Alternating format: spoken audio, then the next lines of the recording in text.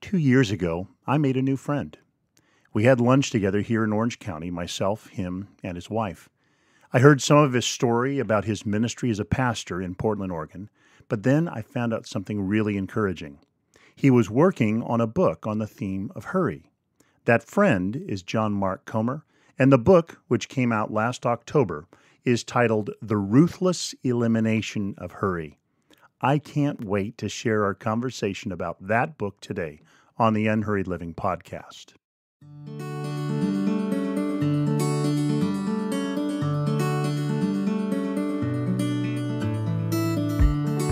There have been a few books written on the subject of hurry, both before and after an unhurried life.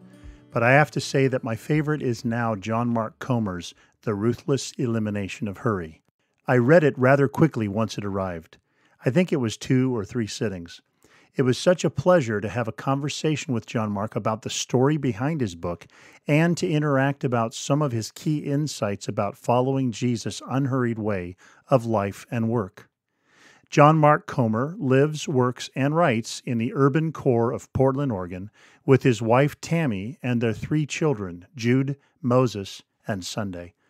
He is the pastor for teaching and vision at Bridgetown Church and has a master's degree in biblical and theological studies from Western Seminary. John Mark is also the author of My Name is Hope, Loveology, and Garden City. By the way, in the course of our conversation, you'll probably notice that I end up retitling John Mark's book from the ruthless elimination to the relentless elimination of hurry. I suppose it's true that we need to be as relentless as we are ruthless as we eliminate hurry from our lives and I'm grateful John Mark was patient and gracious with my mistake. And I know you're going to enjoy our conversation. Well, John Mark, it is a great treat to be able to have this conversation and especially about your book, uh, The Relentless Elimination of Hurry. Yeah, such a joy to be with you, Alan, and just if nothing else, an excuse to chat. Yeah. If not in person, at least I see your smiling face over the internet. Yeah, well, it's a treat. I tell you, I I was um, uh, I've been enjoying it. I got my copy about I think four days ago or so, and uh, I just wanted you to know it has been a delight to read. It is a, a beautiful book. It's a well written book. I love your pastoral heart. I love your honesty as you write. You've done some great research. There's some good, deep uh, roots in this book. So I just want to say thank you for writing it. Oh, you're so kind. I, it feels so weird to do this conversation with you. So I don't know if I've told you this story, but a couple of years ago, so I basically I it's a very long story, but I wrote this book like almost three years ago. Is and that right? Very long story. There was a delay in publication, so it's just um, at least I started writing it, you know, two and a half, three years ago. Yeah. And I'd written most of the rough draft, most of the book, and I got into a conversation with um, Bobby Schuller. Do you know Bobby who's down sure, Bobby's down in our neighborhood. And he's like, "Hey, what are you writing about?" And I said, "Oh, I'm doing this thing on this book on hurry." And it, and I'm like, "There's just nothing out there. Nobody. I, I can't find anybody writing about this." And he goes, "Well, what about Alan Fadling's book?" And I'm like, Al- "Alan who?" Who? He's like, "Well, you've read this, right?" I'm like, uh, what? No, I had no idea. That's so I immediately went out and bought your first book, uh, you know, Unhurried Life, and I wrote it. I read it, and it was wonderful, but I hated it. Not because it wasn't wonderful. It was amazing. It was just basically the book that I had just written, but much better. oh, well, now so, you're being kind. So no, I was so mad. I was like, like, wait a minute, this is my book, but better. This is not fair. But at that point, I'd already written it and was contractually obligated. I had to still turn it in. So, secret oh. to the oh. internet: if you want to pick between two books on hurry, just read Alan's, and it's older and wiser and more mature and thoughtful. And no, seriously, I, I so enjoyed mm. it. Hmm. But I also fun secret fact for the internet I've disciplined myself to not read your second book, which I've been dying to read in Unhurried Leader, just so I don't plagiarize you.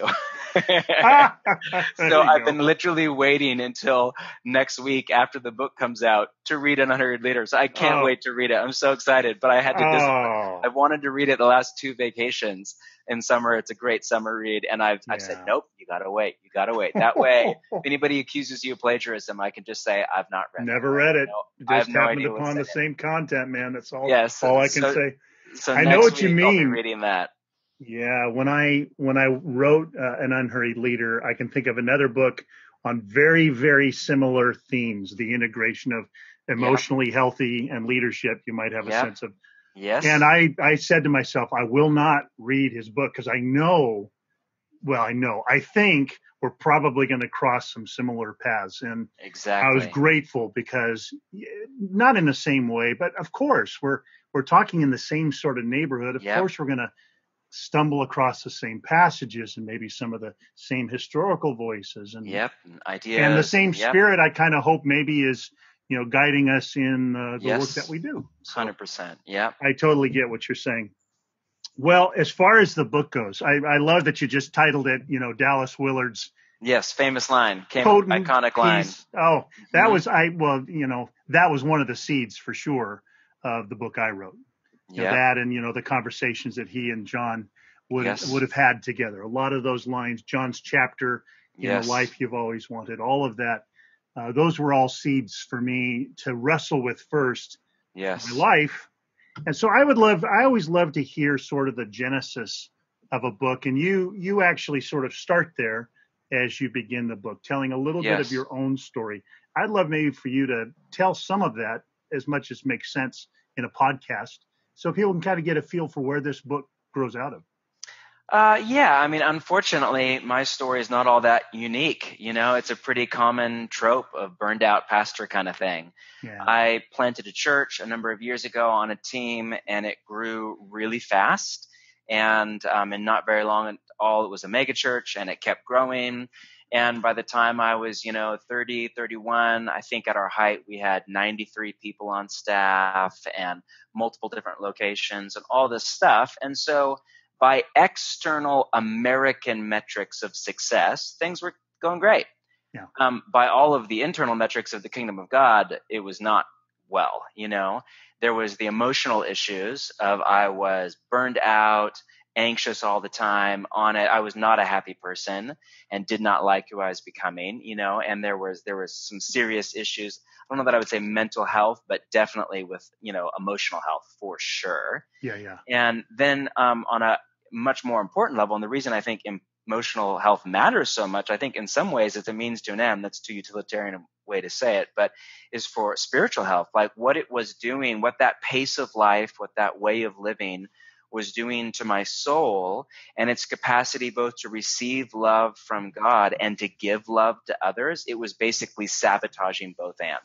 You know, on the in the Godward direction, and again, that's probably not a helpful bifurcation, but in my awareness of and connection to the Spirit of God and His love, it was just sabotaging that. I was just in a hurry all the time, on my phone, distracted, working insane hours, I, I have a very like disciplined regimen of spiritual disciplines of the evangelical variety, not a yep. holistic kind of thing. And I'm sure similar to you, I was raised yep. into some disciplines incredibly well and others were not even on my radar screen. So like a morning quiet time, which I'm so sad when I hear people mock that in a cynical or dismissive way. It's still an anchor point to my day. Yeah. Really raised well into that, raised well into scripture, even raised well into Lectio Divina and other things. But then other things like, you know, Sabbath or the examen or fasting. Some of these things were not even on my radar, you know? Yeah. So um, it was really sabotaging my capacity to experience God as I became more and more just sped up and in a hurry. When I would actually come down to create these little, mo- you know, spaces to come back to God, my, my brain just was it was just spun out of control. My body wasn't there. I just I couldn't feel, sense, hear, interact with God at His pace because I wasn't have you come across that um, quote from the Japanese theologian who? Oh yeah, man, I'm, I'm three mile an hour God. Yes, and I love. is a beautiful line about how God walks slowly because God is love. Yep. And that you know, three mile hour God, which is the title of his book. It's just an essay in his book, but yeah, you know, basically argues God walks at three miles per hour. That's the pace of walking because God is love, and yep. and love has its own speed. It's an inner speed. It is a speed of love. You know, yep. something to that. I love that. So I just wasn't walking. I wasn't walking at all, much less walking at the the speed of love. And then, of course, that was just massively sabotaging all of my interpersonal relationships. Mm. Who I was with my wife, with my children, with you know staff, with close friends, was not somebody who was compassionate, present to the moment, attentive, and loving. It was somebody who was in a hurry, angry a lot, agitated a lot. Some of that's you know what hurry does to my specific personality, and um, and just didn't have time to listen, wasn't present, was hypersensitive, critical, you know, striving. It's like all the stuff, you know. So unfortunately, yeah. it was just the common millennial trope of. Uh, you know, I, I, gained a church and lost my soul. And, mm-hmm. and then the problem wasn't church. Like people often take that into some cynical anti-church thing. And I haven't gone that direction. I don't think it's helpful. No. I think the problem was was much deeper than church, and it was just it was manifesting in the way that I was doing church. Yeah. But it was much deeper than that. It's in my soul, and so yeah, I just basically had an early midlife crisis mm-hmm. and realized, okay, something serious has to change, and and that that's a very long, complex story. But a key part of that was coming across the story of Dallas Willard and John Ortberg and his iconic line, You must ruthlessly eliminate hurry from your life. Hurry is the great enemy of spiritual life in our day. And beginning to connect the dots between hurry and what was going on in my soul at an emotional and spiritual level. Yeah, no, that so much of that rings true. You know, when I tell the story of kind of my own yeah. genesis, it's not that far off from kind of where you find yourself in terms of you know life journey it was for me right. it was late 20s wow. and i wasn't in nearly the same sort of a scenario as you were in in terms of ministry but i was burning out too for my own yeah. reasons and i so i often think that recovery from hurry I, I wish it weren't this way but often it comes uh, because you just can't do what you're doing anymore the way yep. you're doing it it doesn't work it doesn't. It flat doesn't. And, and yeah, I'm, people sometimes think of like I, you know, because I ended up stepping down from this mega church and and not leaving, but just it's kind of a long story, but demoting yeah. myself. And people often think of it as like a virtuous thing, like, oh, it's so Christ-like to reject the American metrics of mega church, whatever. And it wasn't really that virtuous. I burned out, yeah. you know and um, I had to make a change. I mean, I, I, could have kept going on, but the person that I was becoming was horrific, you know. Yeah. And so I'm like, I had no desire to become that person. And I would imagine that for you, you must get front row seats to it not only in your own life, but as a spiritual director, working with pastors across the age spectrum, you must just see this play out over and over and over again. Is that I mean, is that your sense yeah. or no? No, it is. And, uh, you know, for me now, it's not just in the North American context or in the Western context, but, right. you know, in, in, um, in July, we're in Uganda. I got to wow. be with all the bishops and the Archbishop of the Church of Uganda. You're kidding me. Wow. My daughter is so, Ugandan. So oh, that's a special place in my heart. We're going there next year. It's a beautiful church, you know, so these are beautiful couples yep. who care for 100, 200, 400 churches. The wow. Church of Uganda, about one out of every three Ugandans is a part of that church. Wow. And the most beautiful moment, maybe of my life, certainly in recent memory, was in the rather dense schedule they gave me because they set the schedule and then I came and my wife and I actually came in and sort of were there to serve them in a two day retreat. Um, the most beautiful moment was we carved out an hour and I asked them, This is all I want you to do. Go out to the lawn somewhere, sit in the lawn, look at the beauty of what God's made, let God's Spirit, in whatever way God's Spirit would like to, speak to your heart. And, and this was the part that really sort of uh, shocked them. I said, and I'm going to suggest that you even step away from one another as a couple. So the mama bishops, you go find your own little piece of lawn, and the bishops, you go find your peace lawn and we'll spend an hour in the presence, enjoying the presence of God. I mean, so my vision was this vision of purple shirts all across the lawn. Wow. And then we came back and we just heard a few of the stories. And, you know, these are godly, godly couples. Yes. Yes. They are people of prayer.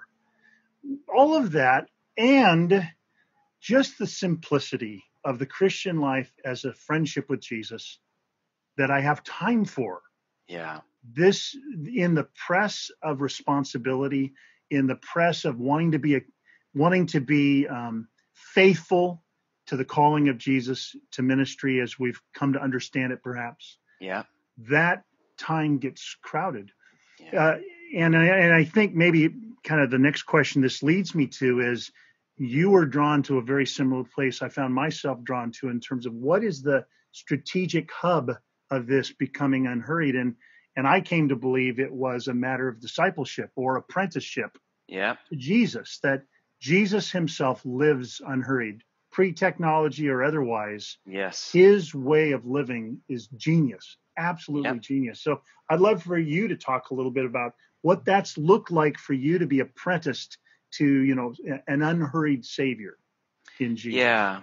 I mean, I mean, first off, I just could not agree more. When I read the four Gospels, the, the portrait of Jesus that comes through the pages to me, at least in my reading of it, is of an unhurried leader in your language. Hmm. You know, I mean, I just don't think he was in a hurry. I mean, how many of the gospel stories, I don't have a percentage here, but are interruptions, Yeah. you know?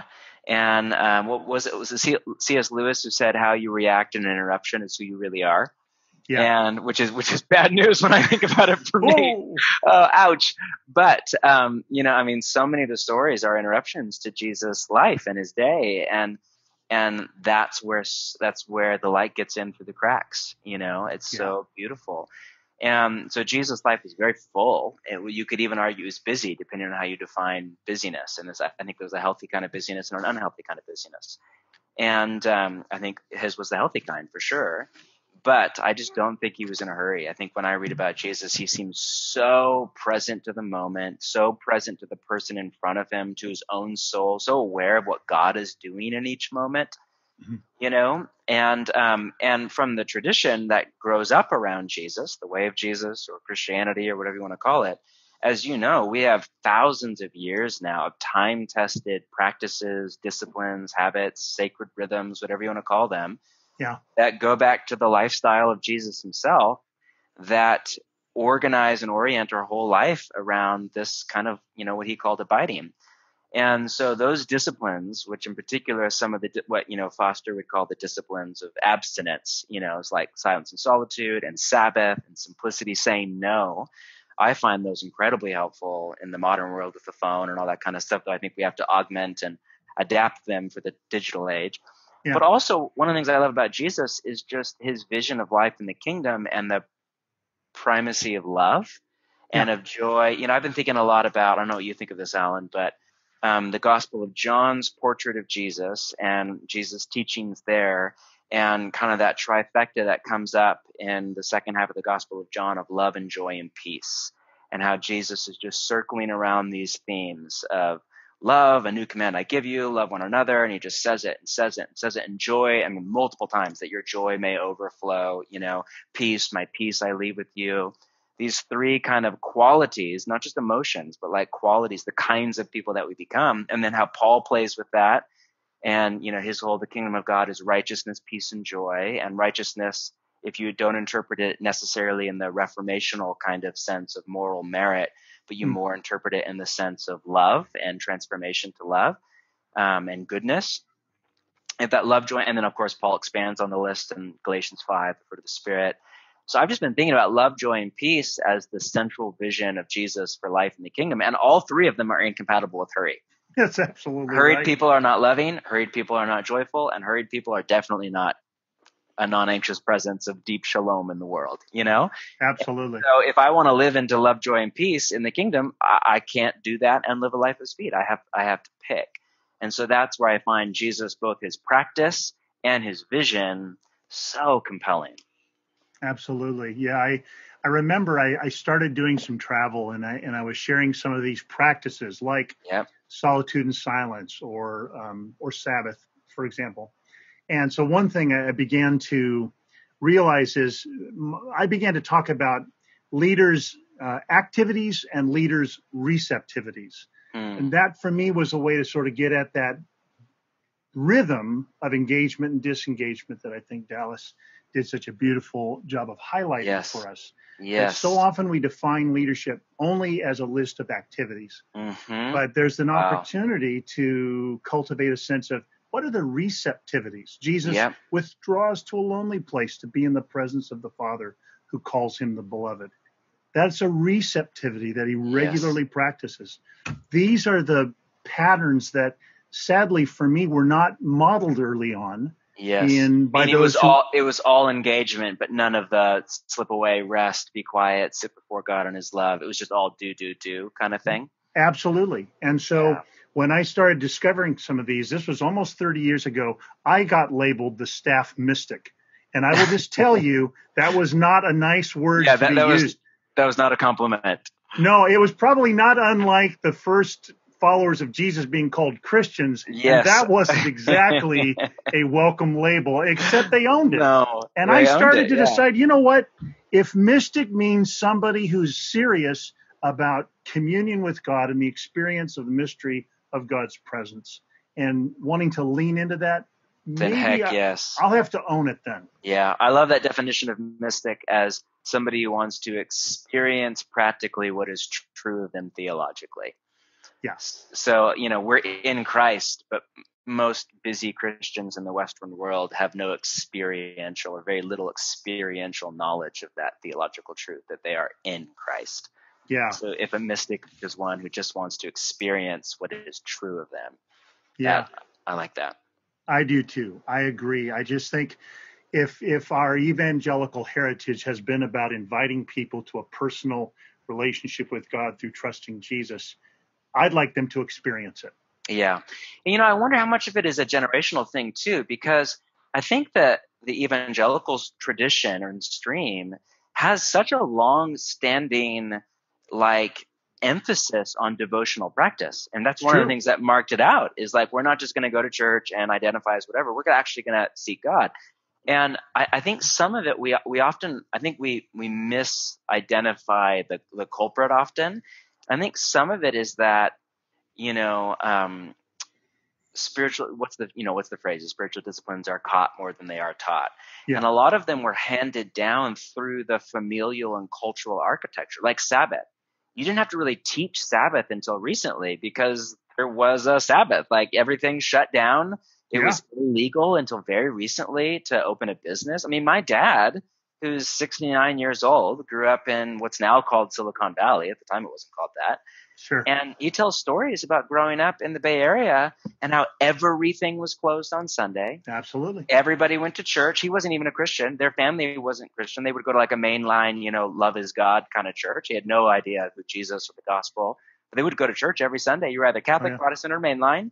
And then after church, there was no, there was nothing to do. There was no email. There was no TV. There was no shopping. You just take a nap, be with your family. If you're really liberal, maybe you go down to the park and throw the baseball or something, you know? but and so like I don't think that his church would have needed to run this huge like series on Sabbath. It was just like built into the cultural architecture. You could argue that about morning quiet time, about family, about community, about so about simplicity. You know what I mean? People didn't have the upwardly mobile lifestyle they have now in greater numbers.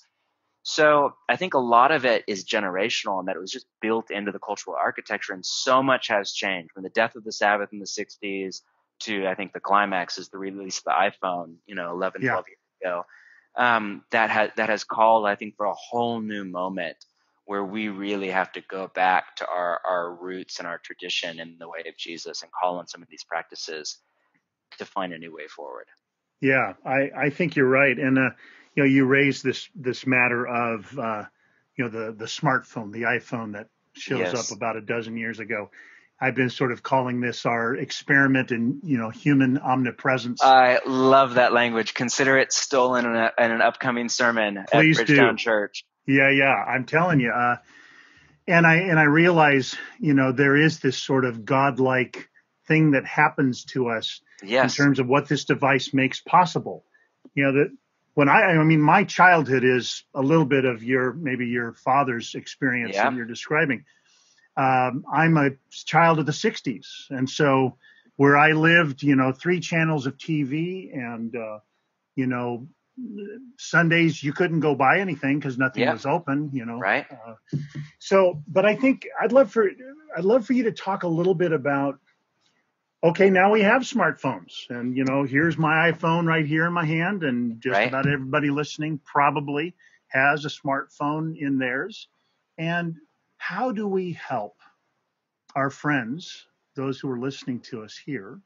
How do we help them find the unhurried way of Jesus in the midst of the practical ways in which this device mentors us in the opposite if we if we let it? Yeah. Um, I mean, again, I don't have all the answers to that. I think, again, we're just a decade in, and we don't have, I think, the Amish sensibility. You know, I love how the Amish. It's such a misnomer that they don't use technology. It's not actually true. That's right. They actually they they are very selective, and they there is a lot of technology they fully use, but they use us as human guinea pigs. When mm. a new technology comes to the fore, they watch what it does to us. They watch what it does to our soul and society for a while, and then they have a communal conversation about whether or not it will make their life better or worse. And yeah. so the cars, and you know, forget the car is a recent thing. Amish are a lot older than the car, and they looked at what the car did to American society and to the soul and decided, no, this would fragment our community. This would add stress. This would tear us apart from each other. Same with insurance and other things like that. And I, I have no idea what they think of the smartphone, but I can only imagine, you know? yeah. So I'm not recommending that we need to go Amish, but I think there's a, there's an intelligence there that when a new technology comes, you know, the American mantra, because it wants to capitalize and make money off of us, it just wants us to think newer is better equals buy everything. Yeah. And I don't, I think that's a stupid way to live. That's yeah. a, an easily manipulated by capitalistic agenda way to live. And I think the intelligent way to live is to when a new technology comes, um, just wait a while, see what happens, see what that does, and see if you can have an objective time will this make my life, my soul, and our society better or worse? So again, most of us are just way beyond that, you know, myself included. We just come up in that newer is better. Oh, there's a new gadget. Let's get it. Everybody has it. Therefore, let's do it. So at that point, um, I think that we, my personal opinion, again, I don't have all the answers here, and I don't think this is a silver bullet without some massive societal, you know, costs like the Amish who pay a pretty high cost yeah. for what for their engagement or lack of engagement. I do think that one simple solution to begin is crafting what I'm just calling a digital rule of life. Mm-hmm. So, rule of life is not language to, new that's new to you. It is new language for a lot of evangelicals, but it's more and more common. We're about to teach on it in the next couple weeks at our church. And I think as part of that, we need to create a digital rule of life where mm-hmm. your phone becomes a tool that you use rather than uh, you know, a master, an addiction, uh, you know, because right now we're the tool, we're the product. We think the phone's exactly. the product, we bought it, but actually it bought us. We're the, we're the product, you know, at a, just at economic level. Yeah. That's the business plan. So, um, so I think that I think a place to begin is twofold. One, with I think followers of Jesus need to recognize the reality that the phone is a serious threat to their spiritual life. And if you don't recognize that, if you live in denial of that, you're never going to get anywhere. Two, once people, I think, recognize that fact, I think it's a fact. It could be just my opinion. I think it's reality. Two, I think we need to craft some kind of a digital rule of life. So I've come up with one, mm. you hmm. know, um, practices, habits, rules, schedule things. So like a core thing for us, as we call it. I think we stole this language from Andy Crouch. Have you read his little book, The TechWise Family? I'm, I'm familiar with it. Yeah. Yeah, and it's it's again, it's for families. It's a short little read, and it's basically on this idea, crafting a. You know, I don't think he uses this language, but a digital rule of life. So I think I stole this language from him, but we just say that we parent our phones, meaning you know a good parent, at least with littler kids. Your kids go to bed before you go. Uh, I'm sorry, they go to bed before you go to bed, and they wake up after you wake up so that you can be yeah. a healthy human being. So we parent our phones. Our phones go to bed at 8:30 every night. We put them in a closet by themselves, plugged in, not by they're not our alarm clocks, they're not in our bedroom, they're not next to our beds, which they are for 90% of Americans. In a recent study that I just read, 90% of Americans, the first thing they do when they wake up is turn on their phone. Yeah. Neuroscientists are telling us all this stuff about how the last thing you do before you go to sleep and the first thing you do when you wake up has the greatest neurological impact on the plasticity of your brain and how your brain is wired, which is mm. just terrifying. The last thing we do is watch Netflix. And the yeah. first thing we do is read a tweet from Donald Trump, check our email, get in trouble with our boss, peruse Instagram, see the life that we wish we had and didn't, and then read about the social media outrage of the day. What in the world is that doing to our brain, yeah. our neurobiology, our soul? Who are we becoming through that? That's a spiritual discipline, even oh, if it's it one. Sure is deformation. Deforming one. Yeah. So I think simple rules like goes to bed before we do, and then I, I we don't touch it until we've spent. And again, this is our stage of life, but time in the quiet with God. Yeah. Psalms in prayer and getting our kids off to school with love and blessing and all that, and then we'll then we'll open the beast. And so I have a pretty rigorous one. You know, text message bundling is part of it. No alerts on my phone. I've turned my smartphone into a dumb phone. Digital Sabbath, like you know. So mine is pretty rigorous, but you can start wherever where you're at, wherever you're at. Yeah. And then I think, you know, because it is an addiction and because they're designed for addiction, it's literally designed to addict you. Yeah. So I don't think it's something we can just do us and Jesus. I think we have to come in with community, accountability, tools, stuff like that. But it's a it's a massive problem. I don't think there's an easy solution to it.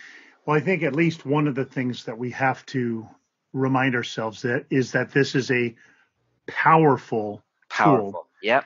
And that power can be used well or that power can be used poorly.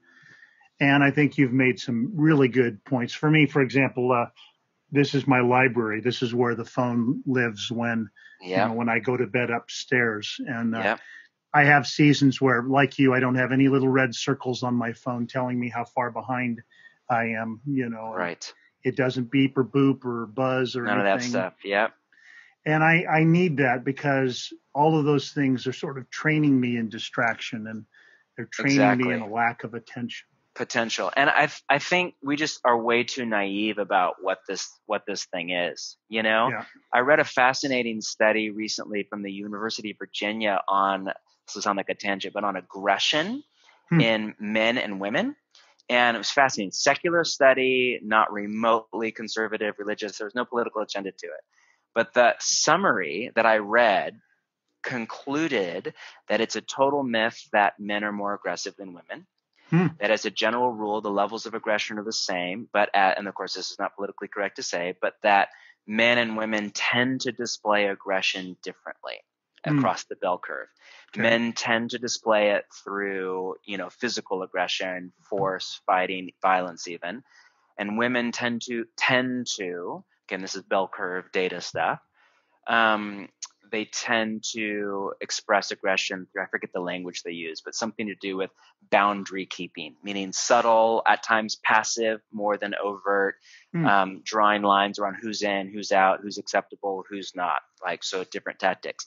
And then it was really interesting. The writers of the study concluded it was fascinating takeaway. They said if you wanted to destroy an entire generation of adolescent boys, you would all you'd have to do is put a gun in their front right pocket. Hmm. And if you wanted to destroy an entire generation of adolescent girls, all you'd have to do is put an iPhone with Instagram in their front right pocket. oh boy And I thought it was so interesting that for all of the political controversy, we have strict laws and social mores around a weapon like a gun. And you, you wouldn't like give a 12 year old a gun and let them carry it to school and uh, have it in their room. But we have no laws and almost no social mores around phone, Wi Fi, and social media. And I, I think I'm hoping that we get to this point as a society where, similar with alcohol or drugs or weapons, we realize, all right, there, there may be a place for some of this stuff, but man, we have to we have to literally re- we have to treat this as something that has potential for for harm and for danger, and we need to we need to treat our phone the way we would treat I don't know, you know, something Mhm. dangerous. And um, that doesn't mean it shouldn't be used, but it means it needs to be used really cautiously and with wisdom and self control. Yeah, no, I appreciate that. I think that's important. I think that we have to, we're going to have to address this. I just think 5, 10, 20 years down the road, if this trajectory continues, Oh, we're going to be forced into some very significant decisions about, um, about yeah, what these. that, and that's the interesting thing. Will this become the new smoking? Hmm. You know, 50 years from now, will people look at people who are text messaging while they're driving or outside of a coffee shop on their phone and think, oh man, how sad. I can't believe people are doing that still. Or will it like massively deform our society and, you know, there'll be just a technological elite that live without their phones that are a couple percentage of the population and the rest become a mindless drone. You know, will it become Ready Player One? oh, you know, I I don't know. It's it'll be really interesting to see what happens. Well, I think maybe that is a good way to transition to one last question I'd like to talk about. You know, we've got Yeah. the smartphone, which is a dozen years old. And then you open your book with a passage, a, a well known passage from Jesus. He's talking to weary and burdened Yes, people. I love that. Yep. and my favorite word that Jesus speaks is the word come. You know, it's Yeah. an invitation. Come, come to me, all you who are weary and burdened, uh, Wow. and you will find rest for your souls. And then he offers a strategy for how we might rest, and it is an implement of work Yeah. he suggests, Yes. which is an interesting sort of thing. I would have expected a La-Z-Boy or a mattress or something. Not a yoke. Yeah. Not a yoke. I, I don't I've never I don't didn't use a yoke today. I haven't used a yoke this last week, month or year, but I know Mhm. what one is because I went to seminary, you know. Yep. But Tractor, basically. yeah, talk about that. Talk about how it is that Jesus' invitation to take his yoke is actually a beautiful invitation to rest. Yeah, I mean, first off, I just love it. Gosh, I love the invitational nature of it. I ache for it. Um, I don't know if you've ever read Dale Bruner's work on the Gospel of Matthew. He's one, of- one of, I think he's considered basically one of the top living scholars on Matthew. Beautiful. And he has a great little commentary on Matthew 11 that's very similar to what you just said. And he reminds us that in, in Christian culture, we hear this easy yoke language and we smile and nod. It can sound kind of sentimental. We forget that a yoke was a work instrument. It was basically the first century equivalent of a tractor. It was Yeah. you, you, what you tied two oxen together and you plow a field with it. So if I'm tired, weary, and burned out, you know, or whatever Jesus language is there, um, I, I don't I don't want you to say, Hey, I have a tractor for you. You know what I mean? And a field to plow. Here's how like come to me, I'll give you a tractor. I don't want Mhm. a tractor. I want a like a vacation in Kauai, you know? or a day off, not a tractor. Exactly what you just said. But Bruner has this wonderful line. He says, instead of offering us escape, Jesus offers us equipment. Mhm. And he just talks about the realism of Jesus and how Jesus is not living in a fantasy world. And he knows that life is heavy. There's a weight to life, an emotional and even spiritual weight to life. And nobody can escape it. Mm. And what the world offers us is an escape. Our phone for many of us is an escape. Entertainment is an escape. Work for many people is an escape. Church for some people, tragically, has become an escape. All sorts of things that are basically an attempt to escape from out out from under the pain of life, um, this side of Eden. And Jesus doesn't offer us a Christian version of an escape. He offers us equipment, meaning, you know, I think Bruner's language is a whole new way to shoulder the weight of life with Mm. with ease, with joy, with comfort, with freedom, with Him, where He's doing the heavy lifting and we're moving at His pace and we're okay. And I, I love the realism of that, the honesty of that, and the hope of that. And so, yeah, I'm like you. I just keep coming back to that passage. For years, I read Jesus' invitation, and I had this little inner voice that I was too scared to actually honestly examine. That basically was pointing out to me that something was not right because I identified as a follower of Jesus, but I was tired, weary, and burned out. And so yeah. that's, that's a problem because Jesus is saying, if you come to me, if you follow me, I'll give you rest for your souls. I didn't feel rest for my soul, and I thought I was following Jesus. So, I, and I just didn't want to go there, you know, because what does that mean? Does that mean Jesus is lying? Does that mean I'm bad? Does that mean this whole thing's a hoax? Because I don't feel rest for my soul. I feel exhausted and stressed out. And I think what I've come to realize is that I, I was not living into the easy yoke. I was not living in the lifestyle of Jesus. And just, and this is what I love about your work and your writing and this podcast and so many others is recapturing this idea of the way of Jesus as a way of life, as a lifestyle. You Mhm. know, Eugene Peterson's work about the way, the truth, and the life. And I love this Yeah. line there. You know, it's the way of truth wedded to the tr- I'm sorry, it's the way of Jesus wedded to the truth of Jesus that brings about the life of Jesus. Correct me if I'm wrong, Absolutely. something like that. That sounds A- right. And how in the North American church we talk a lot more about truth than we do about way, and you got to have both. And um, so I came up in a tradition, I think, like you, that had a lot to say about truth, for which I'm really grateful for, but so little to say about way. And I think, man, we have to hold those two together, and they Yeah. were never meant to come apart. And so, yeah, I think way of Jesus, lifestyle of Jesus, practices of Jesus, unhurried pace of, you know, three mile an hour per, you know, God. That that's where the money is. That's what I wanna. That's what I wanna explore as Yeah. I apprentice under Jesus. Yeah, it just strikes me. Uh, I remember in my earliest days of becoming a new follower of Christ as a high school senior, you know, I was being invited to a relationship with God. That was that was what was on offer. That came through really clearly. It was clear uh, that it wasn't it wasn't religion. That was very clear. We none of us wanted that, whatever that Yeah. meant. Um, what we were entering into was relationship, and then promptly I was trained in a way of doing ministry that almost completely de-emphasized that Wow. reality. Wow. So suddenly my ministry training was about working for God, hmm where the invitation to this life of faith had been a, an invitation to live my life with God. Yeah. And so Jesus went from being friend and Lord, yes, to being almost like boss. Yeah. And then I wasn't sure I wanted to spend any time with my boss. I'd just get more work, you know. Come on, man. Just- Yeah. I'm, I'm already tired. And so I needed a new vision of the yoke as one, it's two in the yoke. I'm one of the two. And the other is Jesus. We are collaborating. There's Yeah. there's a community. The what makes Abiding the with. oh the what makes the work so light is we're not doing it alone.